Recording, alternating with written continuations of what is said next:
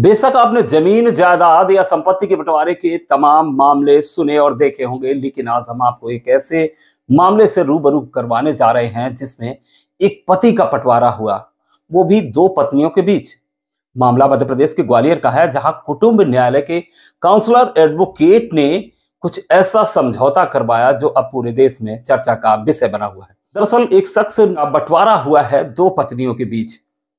समझौते के तहत यह तय हुआ कि वो शख्स तीन दिन एक पत्नी के साथ रहेगा और तीन दिन दूसरी पत्नी के साथ रहेगा। साथ ही उसे अपनी सैलरी आधी एक पत्नी को और आधी दूसरी पत्नी को देनी होगी। इतना ही नहीं, संडे के दिन पति महोदय की छुट्टी भी रखी गई है। उस दिन वो दोनों पत्नियों से स्वतंत्र रहेंगे। दिलचस्प मामला ग्वालियर के कुटुंब न्यायालय से जुड़ा हुआ है, जहाँ पर एडवोकेट काउंसलर मामले की पूरी विस्तृत जानकारी दे रहे हैं।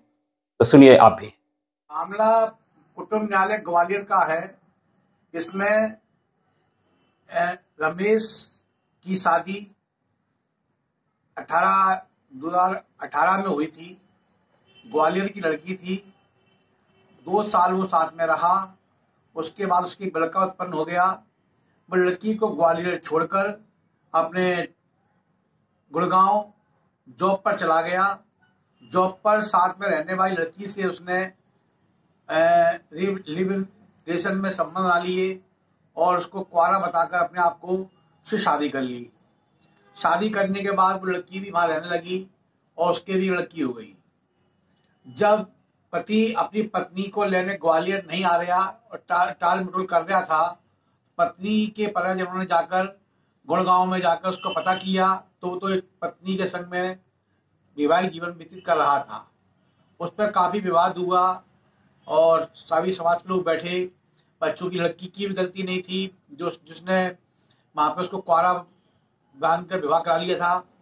मामला ग्वालियर कोर्ट में मेंटेनेंस के लिए आया, धारा एक सौ पच्चीस के लिए लड़की आई।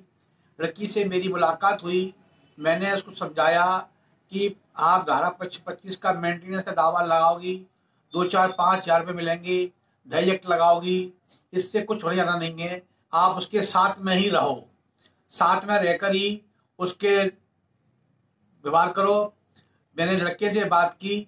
लड़के ने बुलाया तो ग्वालियर बुलाया गया लड़के को। उसने बताया कि साहब, मेरी मेरी पत्नी से संबंध अच्छे नहीं है और ये मेरे को व्यवहार अच्छा नहीं करती है। इस कारण मैंने दूसरी शादी कर ली है। अब मैं उसको नहीं छोड़ सकता हूँ। वो ही मेरे साथ रहेगी। अब इसके उपरांत लड़की को समझाया कि तुम भी गुड़गांव जाके रहो और लड़की भी उस उस पत्नी को भी बात करी, किसने तुम्हें धोखा दिया है? इसके उपरांत दोनों की काउंसलिंग करी गई। काउंसलिंग में यह तय किया गया कि दोनों को एक एक फ्लैट देगा लड़का और और तीन तीन दिन दोनों के साथ रहेगा। दोनों को आधी आधी तनख्वाह देगा। दोनों के जाकर तीन दिन खाना यहाँ खाएगा, तीन दिन खाना वहाँ खाएगा और तीन दिन साथ में रहेगा। इस समझौते के बाद लड़की को लेकर वो ग्वालियर से गुड़गांव चला गया। दोनों के नाम फ्लैट फ्लैट कर दिया गया है। दोनों आपस में समझौता हो गया है। ये काउंसलिंग में किया गया है। काउंसलिंग में हरीश दीवान एडवोकेट एवं श्रीमती बबीता दीवान का सेव रहा है।